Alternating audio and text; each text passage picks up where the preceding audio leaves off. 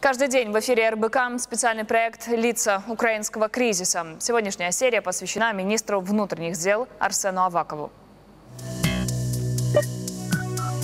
Украинский кризис. Действующие лица. Кто стоит за принятием решений? От кого зависит, чем и когда закончится противостояние? Специальный проект РБК. Арсен Аваков, 50 лет, во время первого Майдана считался человеком Ющенко, потом переметнулся к Тимошенко, при этом всегда оставался харьковским. В этот город переехал в возрасте двух лет вместе с отцом военным. Окончил Харьковский политех и создал одно из первых акционерных обществ Украины. К началу 2000-х фирма разрослась до бизнес-корпорации, которая не только добывала газ, строила и снабжала Харьков электроэнергией, но имела собственное ТВ и чайную фабрику. Миллионер с наполеоновскими замашками. Украинская пресса, описывая начало карьеры Авакова, вскользь упоминает операции с векселями предприятий и убийство ближайшего бизнес-партнера Александра Коновалова в 1993 году. Впрочем, статуса успешного бизнесмена Авакову было явно недостаточно. Появление в политике связано с оранжевой революцией. Уже состоявшийся к тому времени предприниматель сразу решил играть на стороне оппозиции. Ющенко! Ющенко! Став президентом, Виктор Ющенко сомневался, кого именно сделать губернатором Харьковской области. Лоббистами кандидатуры Авакова якобы выступили давние знакомые бизнесмена, родной брат президента Петр Ющенко и его сын Ярослав. Не случайно потом 24-летний племянник главы государства станет замом губернатора. Среди покровителей уже тогда значилась Юлия Тимошенко. Членом ее команды Аваков станет в 2010-м, заплатив за это отставкой. Но после победы Януковича казалось, что Аваков просчитался. Он проиграл Геннадию Кернису выборы мэра Харькова и остался всего лишь лидером местной батькивщины. В начале 2012-го в отношении экс-губернатора возбудили уголовное дело, но за несколько месяцев до этого Аваков успел уехать за границу. Находясь в эмиграции, он боролся с украинской прокуратурой и даже смог стать народным депутатом. Получив иммунитет от уголовного преследования, Аваков снова появился на политической сцене. Мы имеем большие задачи. В стране поменять власть. Не диктатуру идиотов, не диктатуру чинуш, на диктатуру народа.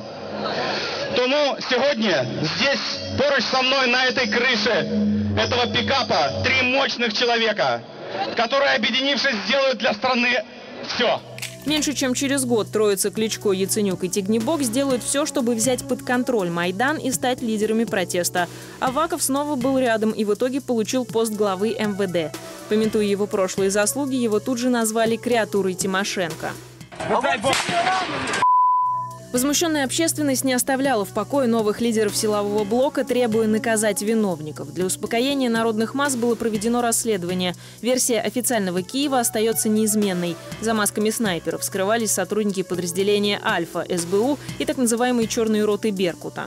Спецподразделение «Беркут» сделало все, чтобы любые расследования на эту тему были невозможны. Э, сжигалась одежда, бросалось оружие, уничтожались документы.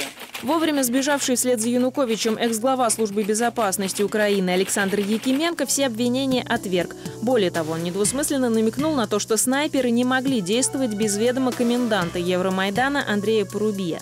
Независимые эксперты разводят руками, они уверены, правду о расстреле активистов никто никогда не узнает. Началом конфликта на Юго-Востоке министру Авакову журналисты задают уже совсем другие вопросы. Сам он, кажется, больше концентрируется на желании выиграть информационную войну. Фейсбучный министр так окрестили излишне активного в соцсетях Авакова. В разгар антитеррористической операции он называет себя оптимистом и на своей страничке радуется 200-тысячному подписчику. Но, тем не менее, э, скорее сегодня он выполняет роль дублера министра обороны, поскольку скорее э, ну, мы можем отметить решение э, военных задач Министерства внутренних дел, я имею в виду формирование батальонов Нацгвардии, скажем так, их оснащение.